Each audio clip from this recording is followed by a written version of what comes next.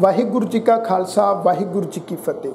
ਗੁਰੂ ਰੂਪ ਗੁਰੂ ਪਿਆਰੀ ਸਾਧ ਸੰਗਤ ਜੀਓ, ਕੁਝ ਦਿਨ ਪਹਿਲਾਂ ਕਿਸੇ ਵੀਰ ਵੱਲੋਂ ਇੱਕ ਸਵਾਲ ਪੁੱਛਿਆ ਗਿਆ ਸੀ ਵੀ ਜਦੋਂ ਅਸੀਂ ਗੁਰਦੁਆਰਾ ਸਾਹਿਬ ਜਾਂਦੇ ਹਾਂ, ਤੇ ਅਸੀਂ ਕੀ ਦੇਖਦੇ ਹਾਂ ਵੀ ਗੁਰਦੁਆਰਾ ਸਾਹਿਬ ਜਿਸ ਜਗ੍ਹਾ ਤੇ, ਜਿਸ ਚੁਬੱਚੇ ਦੇ ਵਿੱਚ ਆਮ ਸਿੱਖ ਸੰਗਤਾਂ ਆਪਣੇ ਪੈਰ ਧੋਂਦੀਆਂ ਹਨ, ਕਈ ਲੋਕ ਜਿਹੜੇ ਹਨ ਉਹ ਪੈਰ ਧੋਣ ਵਾਲੀ ਜਗ੍ਹਾ ਤੋਂ ਪਾਣੀ ਦੇ ਚੁੱਲ੍ਹੇ ਭਰ ਭਰ ਕੇ ਉਹ ਪੀਂਦੇ ਹਨ। ਕਿ ਅਜੀਹਾ ਕਰਨਾ ਗੁਰਮਤ ਹੈ ਜਾਂ ਫਿਰ ਮਨਮਤ ਹੈ? ਕਿ ਜੋਗ ਹੈ ਜਾਂ ਅਜੋਗ ਹੈ? ਤੋ ਸਾਧ ਸੰਗਤ ਜੀ ਅੱਜ ਅੱਜ ਦੇ ਇਸ ਪ੍ਰੋਗਰਾਮ ਦੇ ਵਿੱਚ ਮੈਂ ਆਪ ਸਮੂਹ ਸੰਗਤ ਦੇ ਨਾਲ ਇਸੇ ਹੀ ਟੌਪਿਕ ਤੇ ਇਸੇ ਹੀ ਵਿਸ਼ੇ ਦੇ ਸੰਬੰਧ ਵਿੱਚ ਕੁਝ ਕੁ ਵਿਚਾਰਾਂ ਸਾਂਝੀਆਂ ਕਰਨ ਜਾ ਰਿਹਾ ਹਾਂ ਤੇ ਆਪ ਸਮੂਹ ਸੰਗਤ ਨੂੰ ਬੇਨਤੀ ਕਰਨਾ ਚਾਹਾਂਗਾ। ਅੱਜ ਦੇ ਇਸ ਪ੍ਰੋਗਰਾਮ ਨੂੰ ਸ਼ੁਰੂ ਤੋਂ ਲੈ ਕੇ ਐਂਡ ਤੱਕ ਆਪ ਵੀ ਦੇਖੋ ਤੇ ਹੋਰਨਾਂ ਸਿੱਖ ਸੰਗਤਾਂ ਨਾਲ ਵੀ ਵੱਧ ਤੋਂ ਵੱਧ ਜ਼ਰੂਰ ਸ਼ੇਅਰ ਕਰੋ ਜੀ। ਤੋ ਸਾਧ ਸੰਗਤ ਜੀ, ਸਭ ਤੋਂ ਪਹਿਲੀ ਗੱਲ ਇਹਨੂੰ ਹਮੇਸ਼ਾ ਯਾਦ ਰੱਖੋ। ਅਕਸਰ ਹੀ ਅਸੀਂ ਦੇਖਦੇ ਹਾਂ ਵੀ ਕਈ ਸਿੱਖ ਸੰਗਤਾਂ ਜਾਂ ਕਈ ਲੋਕ ਜਿਸ ਚੁਬੱਚੇ ਦੇ ਵਿੱਚ, ਗੁਰਦੁਆਰਾ ਸਾਹਿਬ ਦੇ ਵਿੱਚ ਅਸੀਂ ਆਪਣੇ ਪੈਰ ਧੋਂਦੇ ਹਾਂ, ਪੈਰ ਸਾਫ਼ ਕਰਦੇ ਹਾਂ ਤੇ ਫਿਰ ਅਸੀਂ ਦਰਬਾਰ ਸਾਹਿਬ ਦੇ ਵਿੱਚ ਐਂਟਰ ਹੁੰਦੇ ਹਾਂ। ਉਸ ਚੁਬੱਚੇ ਦੇ ਵਿੱਚੋਂ ਹੀ ਜਿਹੜਾ ਹੈ ਉਹ ਪਾਣੀ ਦੇ ਚੁੱਲ੍ਹੇ ਭਰ ਭਰ ਕੇ ਪੀ ਲੱਗ ਪੈਂਦੇ ਹਨ। ਹੁਣ ਅਜੀਹਾ ਕਰਮ, ਉਹ ਸਿੱਖ ਸੰਗਤਾਂ ਜਾਂ ਉਹ ਲੋਕ ਕਿਉਂ ਕਰਦੇ ਹਨ? ਤੇ ਮੈਂ ਇਸ ਗੱਲ ਨੂੰ ਮਹਿਸੂਸ ਕਰਦਾ ਹਾਂ, ਸ਼ਾਇਦ ਕਿਤੇ ਨਾ ਕਿਤੇ ਉਹ ਸ਼ਰਧਾ ਵਸ ਅਤੇ ਅਗਿਆਨਤਾ ਵਸ ਅਜੀਹਾ ਕਰਮ ਕਰਦੇ ਹਨ। ਕਿਉਂਕਿ ਉਹਨਾਂ ਨੂੰ ਕਿਤੇ ਨਾ ਕਿਤੇ ਇੰਜ ਲੱਗਦਾ ਹੈ ਵੀ ਇਸ ਚੁਬੱਚੇ ਦੇ ਵਿੱਚੋਂ ਗੰਦਾ ਪਾਣੀ ਪੀ ਕੇ ਸਾਡੇ ਜਿਹੜੇ ਪਾਪ ਕਰਮ ਹਨ, ਉਹ ਧੋਤੇ ਜਾਣਗੇ ਅਤੇ ਸਾਡੇ ਮਨ ਵਿੱਚ ਨਿਮਰਤਾ ਆਏਗੀ ਕਿਉਂਕਿ ਅਸੀਂ ਸੰਗਤ ਦੀ ਚਰਨ ਧੂੜੀ ਲੈਣੀ ਹੈ। ਪਰ ਸਾਧ ਸੰਗਤ ਜੀ, ਇੱਥੇ ਮੈਂ ਆਪ ਜੀ ਦੇ ਚਰਨਾਂ ਵਿੱਚ ਬੇਨਤੀ ਕਰਨਾ ਚਾਹਾਂਗਾ। ਇਸ ਗੱਲ ਨੂੰ ਹਮੇਸ਼ਾ ਯਾਦ ਰੱਖੋ ਭਾਈ, ਸ਼ਰਧਾ ਹੋਣੀ, ਭਾਵਨਾ ਹੋਣੀ ਬਹੁਤ ਲਾਜ਼ਮੀ ਹੈ, ਬਹੁਤ ਜ਼ਰੂਰੀ ਹੈ ਗੁਰੂ ਪ੍ਰਤੀ, ਸੰਗਤ ਪ੍ਰਤੀ, ਗੁਰਬਾਣੀ ਪ੍ਰਤੀ, ਵਾਹਿਗੁਰੂ ਪ੍ਰਤੀ। ਪਰ ਜਿੱਥੇ ਸ਼ਰਧਾ ਹੋਵੇ, ਜਿੱਥੇ ਭਾਵਨਾ ਹੋਵੇ, ਉੱਥੇ ਅਗਿਆਨਤਾ ਨਹੀਂ ਹੋਣੀ ਚਾਹੀਦੀ। ਉੱਥੇ ਗੁਰੂ ਦਾ ਬਖਸ਼ਿਸ਼ ਕੀਤਾ ਹੋਇਆ, ਗੁਰਬਾਣੀ ਦਾ ਬਖਸ਼ਿਸ਼ ਕੀਤਾ ਹੋਇਆ, ਗੁਰਮਤ ਦਾ ਗਿਆਨ ਵੀ ਸਾਨੂੰ ਹੋਣਾ ਚਾਹੀਦਾ ਹੈ।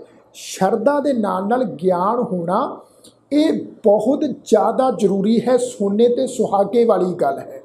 ਇਹ ਜਿਹੜਾ ਅਸੀਂ ਚੁਬੱਚੇ ਵਿੱਚੋਂ ਗੰਦਾ ਪਾਣੀ ਪੀ ਲੈਨੇ ਹਾਂ, ਸ਼ਰਧਾ ਵਸ ਇਹ ਸਾਧ ਸੰਗਤ ਜੀ ਮੈਂ ਦੱਸਣਾ ਚਾਹਾਂਗਾ, ਕੇਵਲ ਅਗਿਆਨਤਾ ਵਾਲਾ ਕਰਮ ਹੈ।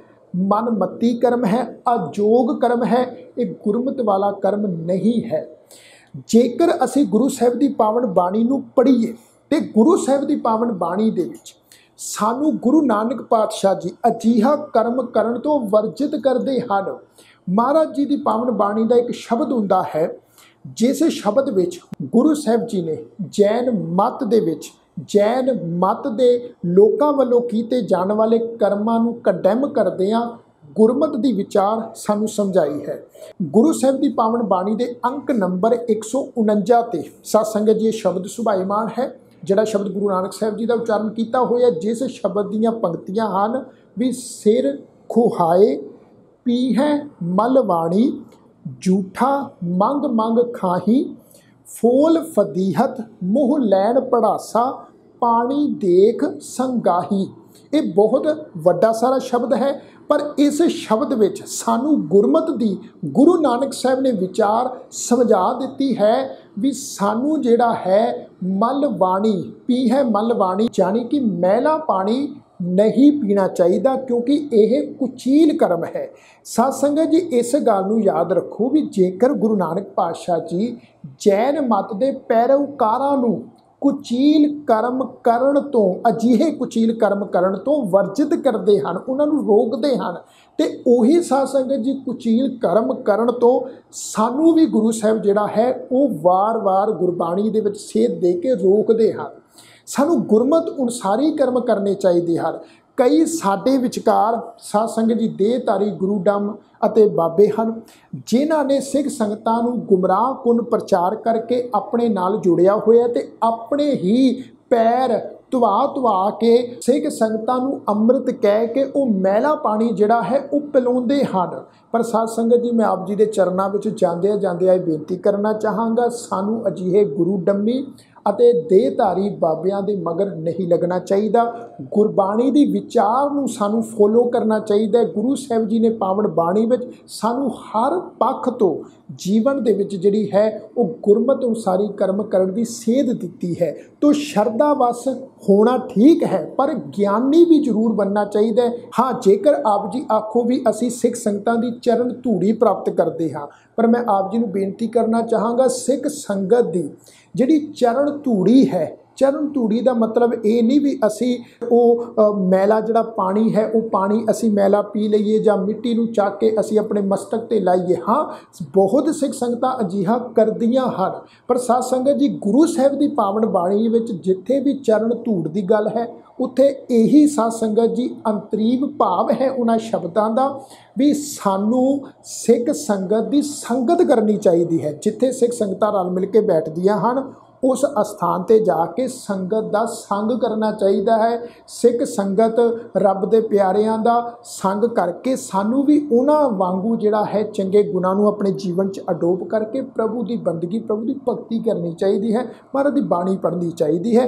ਇਹੀ ਸਤ ਸੰਗਤ ਜੀ ਚਰਨ ਧੂੜ ਦੇ ਅਰਥ ਹਨ।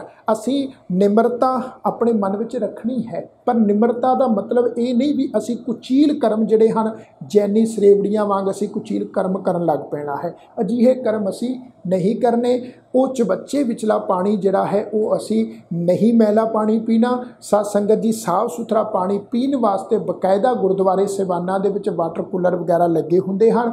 ਉਹ ਪਾਣੀ ਜਿਹੜਾ ਹੈ ਤੁਸੀਂ ਜ਼ਰੂਰ ਪੀ ਸਕਦੇ ਹੋ।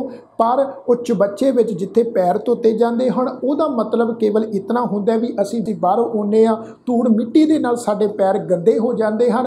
ਉਹ ਚਬੱਚੇ ਵਿਚਲਾ ਪਾਣੀ ਕੇਵਲ ਇਸ ਵਾਸਤੇ ਹੁੰਦਾ ਤਾਂ ਜੋ ਅਸੀਂ ਆਪਣੇ ਪੈਰਾਂ ਨੂੰ ਚੰਗੀ ਤਰ੍ਹਾਂ ਧੋ ਕੇ, ਸਾਫ਼ ਸੁਥਰਾ ਕਰਕੇ ਫਿਰ ਅਸੀਂ ਸੰਗਤ ਵਿੱਚ ਦਰਬਾਰ ਸਾਹਿਬ ਵਿੱਚ ਐਂਟਰ ਹੋਈਏ, ਹੱਥ ਵੀ ਸਾਫ਼ ਕਰ ਲਈਏ ਅਤੇ ਪੈਰਾਂ ਨੂੰ ਵੀ ਚੰਗੀ ਤਰ੍ਹਾਂ ਧੋ ਲਈਏ। ਉਹ ਪਾਣੀ ਜਿਹੜਾ ਹੈ, ਉਹ ਪੀਣ ਵਾਸਤੇ ਨਹੀਂ ਹੁੰਦਾ, ਉਹ ਪਾਣੀ ਕੇਵਲ ਪੈਰਾਂ ਨੂੰ ਧੋਣ ਵਾਸਤੇ ਹੁੰਦਾ ਹੈ। ਤੋ ਸਾਧ ਸੰਗਤ ਜੀ, ਮੈਂ ਉਮੀਦ ਕਰਦਾ ਹਾਂ ਅੱਜ ਦੇ ਇਸ ਪ੍ਰੋਗਰਾਮ ਵਿੱਚ ਦਿੱਤੀ ਹੋਈ ਜਾਣਕਾਰੀ ਆਪ ਜੀ ਨੂੰ ਜ਼ਰੂਰ ਸਮਝ ਵਿੱਚ ਆ ਗਈ ਹੋਵੇਗੀ।